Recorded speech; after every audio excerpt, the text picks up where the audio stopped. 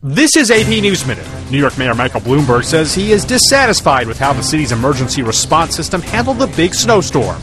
Ambulances got stuck, and some 49,000 911 calls swamped the system. State inspectors say wind played a role in that ski lift accident in Maine, sending eight people to the hospital.